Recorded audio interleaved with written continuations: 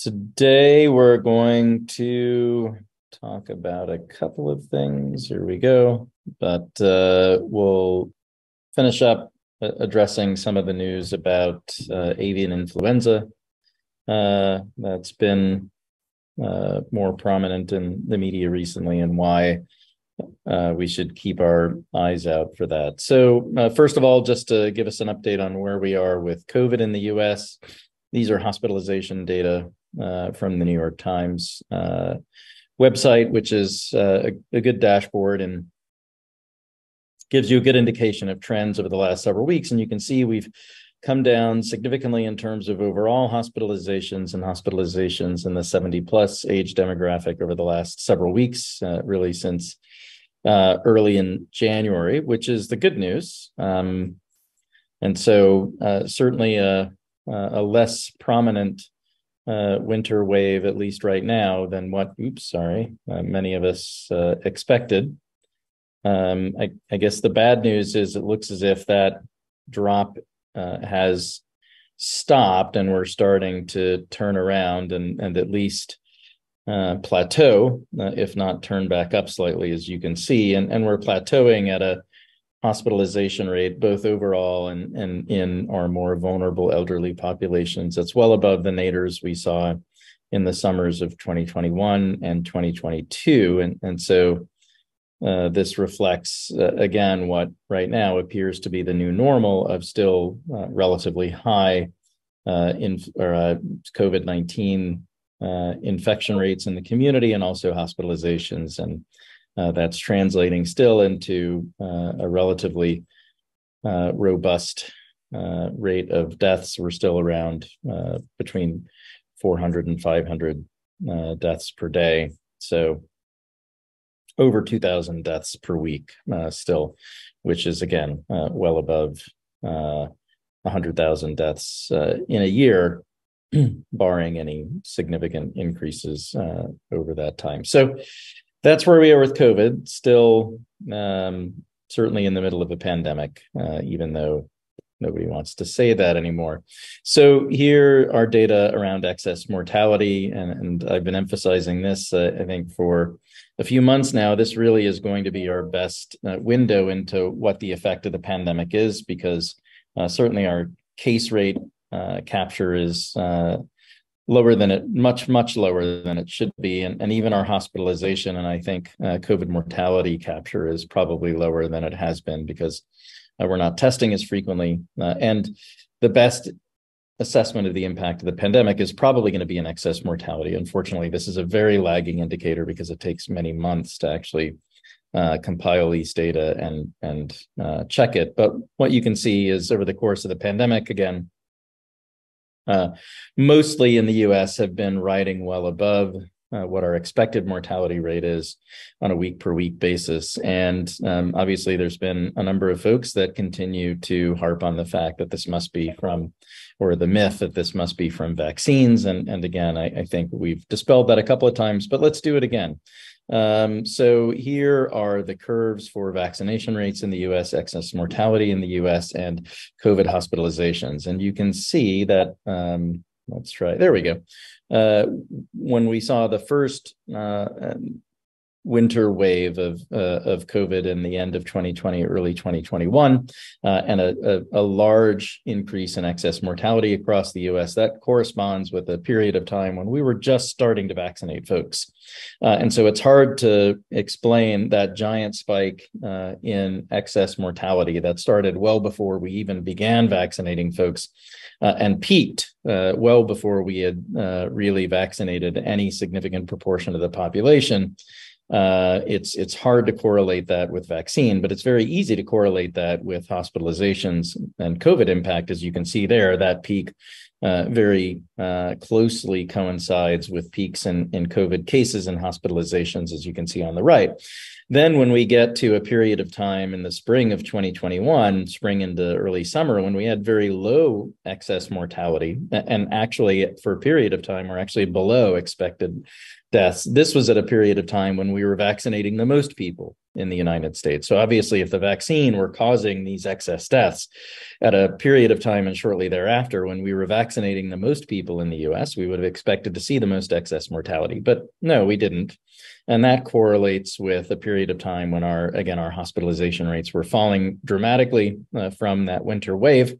Uh, and again, there seems to be a, a, strong correlation with cases and hospitalizations uh, and COVID deaths with excess mortality, but not with vaccine. Uh, again, we saw the Delta wave in the summer of 2021. That was uh, pre- predominantly in um, younger people right? Young to middle aged people. and again, this is a period of time where we had relatively low rates of vaccination, uh, but very high rates of hospitalization. Uh, so the correlation there clearly seems to be with COVID disease activity, not vaccine.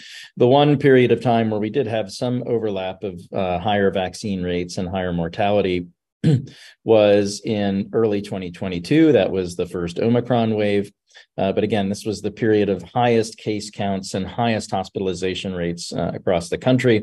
Uh, so that correlation still seems to be much more strongly aligned with uh, COVID activity rather than vaccine. And again, uh, over the last nine ten months, since we've been seeing uh, a steady rate of excess mortality above expected, uh, we see very low vaccination rates, but again, higher hospitalization rates uh, than uh, we had seen at, at, previous nadirs.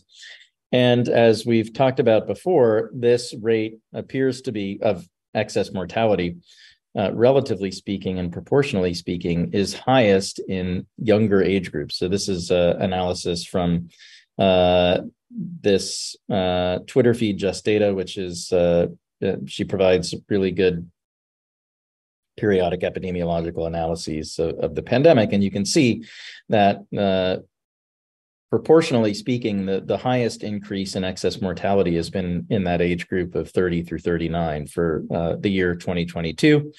Tends to be higher in um, states that have had lower vaccination rates in that population demographic. So look at Florida, uh, for instance, uh, and um, lower in states that have higher rates of vaccination in that population. Look at Pennsylvania and New York. Uh, and then obviously much lower uh, proportionally in older age groups who've had very high rates of fourth booster doses and bivalent booster dose. In fact, many of those age groups are now actually approaching back to expected mortality rates uh, over 2022. So, uh, a trend that uh, I think we've highlighted a couple of times, but worth reiterating. So, excess mortality and excess deaths across the last uh, several years have coincided with uh, COVID activity, not with vaccination. And uh, proportionally in 2022, excess deaths were most increased in, in younger age groups uh, between 18 and 49, particularly 30 to 39, uh, and that coincides with lower vaccination rates uh, in those age groups. Excess mortality much lower in older age groups where vaccination rates are quite high. So now I want to move on to bird flu and talk about that for a, a couple of minutes because I think it's worth paying attention to. So folks may have seen in media reports recently a little more attention uh, devoted to uh, the large avian influenza outbreaks that have been going on really for the past year, uh, but uh, seem to be coming to a head uh, where there's been more activity over the last several months. You can see the British newspaper Guardian uh, talked about the the grim outlook in the UK for avian uh, flu outbreaks, and the New York Times talked about the potential for uh, a new pandemic. And the reason this is concerning is we are seeing very large outbreaks of uh, H5N1 highly pathogenic avian influenza or HPAI. Uh, across the globe. Uh, here are the data for the US for uh, 2022 and 23. Uh, you can see that uh, over the last uh, several months since November, there's been you know, very high rates of activity. And over the course of, I believe, the last year, uh, 58 million birds in, in the US have been uh, affected by avian influenza outbreaks and have been culled. Uh, that's involved uh, multiple uh, commercial and backyard flocks, and you can see uh, a significant number of states across the country. Not confined to the US, however, this is data from uh, the European CDC discussing the fact that in the last year, there was the highest rate of highly pathogenic avian influenza ever observed in Europe, uh, with almost 50 million birds culled there uh, in Europe across 37 European countries. Uh, the Pan American Health Organization has also released a, a report about high rates of activity uh, across uh, Central and South America and, and North America. Uh, so it's a global problem and it's a big deal. And more recently, there have been a couple of concerning reports about um, more frequent spillovers into uh, mammalian populations, including uh, otters and foxes that were detected in the UK, uh, and a large outbreak that occurred in mink uh, that included uh, very good evidence of animal to animal transmission through minks. and the reason that this is potentially concerning is when an avian influenza virus shows increased propensity to infect mammals and potentially to transmit from mammals to mammals it indicates that that virus is starting to adapt uh, to the different receptors that mammals have in their respiratory tract uh, and that makes us concerned that it may be a virus that's becoming more fit to transmit in humans.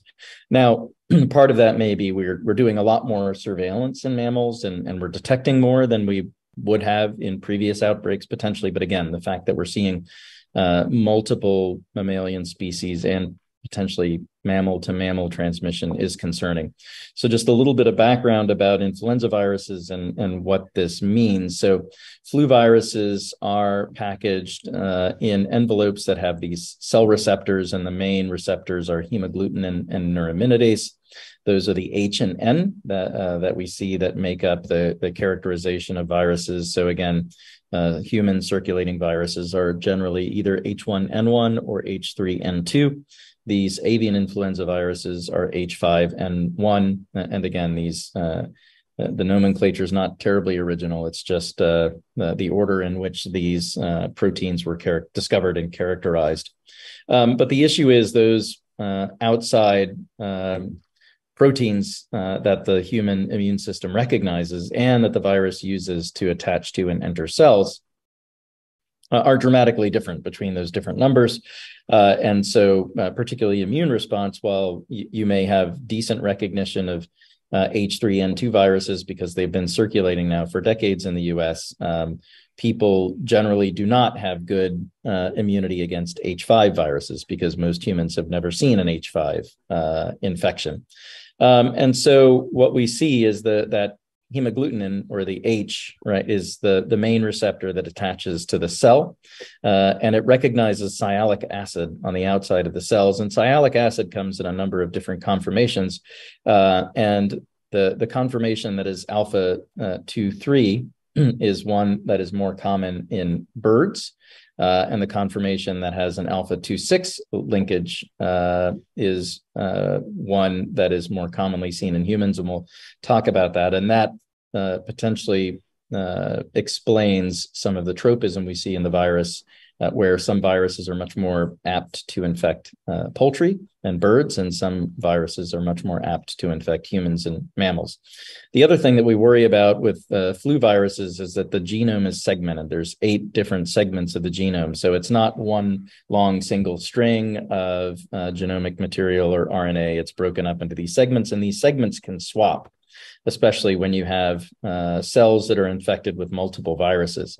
And those swaps, oops, sorry, uh, can uh, result in what's called genetic shift, which can create uh, new reassortment viruses that, again, uh, combine things like high transmissibility with a high immune escape, because, again, you'll have a virus that humans have never seen before that's been responsible for uh, the major influenza pandemics that have occurred over the last uh, hundred years uh, or more.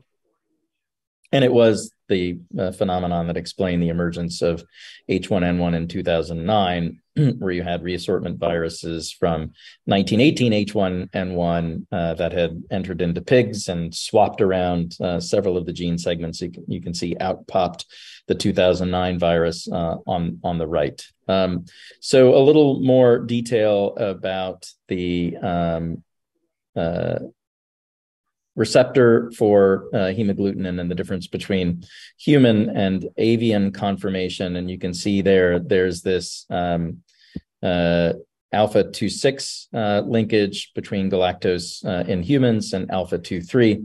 Now, humans have both alpha 2 6 and alpha 2 3. Alpha 2 6 tends to be highly expressed in the upper respiratory tract, and there is some alpha 2 3 in the lower respiratory tract in the alveoli of the lungs uh, alpha 2-3 is in birds and it's mostly uh, expressed in the gastrointestinal tract. And so it's actually uh, a, a, gastrointestinal pathogen of birds, uh, and it's passed uh, probably from uh, fecal transmission and stool. but when it gets into people, particularly when it becomes adept at binding to alpha 2-6 in the upper respiratory tract, that's when it becomes highly efficient in passing from person to person by respiratory droplets and small respiratory droplets. And that's when human influenza viruses become uh, a concern. And if you look on the right, uh, here is kind of the, the progression or uh, potential progression that we worry about. You have a virus that has primarily tropism for alpha 2 3 uh, galactose linkage in birds. Uh, but after multiple passages through birds, and particularly oftentimes into pigs, uh, it can suddenly develop uh, the ability to bind more effectively to alpha 2 6. Uh, and then that's a virus that becomes much more adept at transmission in other mammals and in humans for person to person transmission. So that's the concern and why more H5 or other avian influenza outbreaks across the world uh, provide more opportunity for the virus to mutate uh, into something that can potentially uh, achieve sustained human to human transmission. Um, the the scope and range of the outbreaks that we're seeing now are somewhat reminiscent of what we saw in the early 2000s. So avian influenza had been circulating in Asia uh, for almost 10 years at that point, but 2000 saw 2005 saw a real explosion of avian influenza uh, across the globe, affecting flocks uh, outside of Asia across much of uh, Central Asia into Europe and, and Africa uh, and uh, this was one of the things, uh, one of the major things that prompted the U.S. Uh, uh, pandemic influenza uh, planning uh, cycle that began in 2005 and six, and resulted in many of the plans that were created for pandemics that um, since have been mostly gathering dust on the shelf, unfortunately. But a, a, major effort that that had, at least for 2009, a positive impact. Um, and so the, the concern is, are we seeing a repeat of what happened in 2005 and six and seven? And again, uh, keep in mind what happened just a couple of years afterwards with the emergence of a new pandemic influenza virus. Uh, fortunately, what we have not seen so far in 2022 and early 23 is a significant amount of human disease detection of H5. This is in contrast to what we saw again in the early 2000s, where you can see, especially in Southeast Asia, we saw significant numbers of human cases um, arising out of uh, China and, and Vietnam primarily. Um, difficult to say how uh, transparent uh, the Chinese government is going to be in terms of uh, human avian influenza cases these days. Uh, uh, one would hope that uh, Vietnam and other countries might be a little more forthcoming, although there's also a lot of political um, undertones to reporting these types of cases and, and also a good bit of controversy about the fact that many of these countries provided uh, lots of data and even virus samples in the early 2000s to help develop vaccines against avian influenza and uh, received no benefit uh, from the companies that developed those vaccines. And so uh, it becomes a pretty complicated international political landscape as well. But but I think bottom line is so far, right now we're not seeing a lot of human cases, and so that's at least a little bit of comfort. But again, doesn't take much uh, for a, a, virus to get into uh, the right host and potentially pigs and, and to produce a virus that's more adept at transmitting uh, between people. So uh, good to keep our eye on what's happening in the avian influenza space over the next several months uh, and see this how this progresses. But clearly, what we don't want is another uh, respiratory virus pandemic coming in, in the middle of what is still an ongoing coronavirus pandemic. Thanks. That's all I have.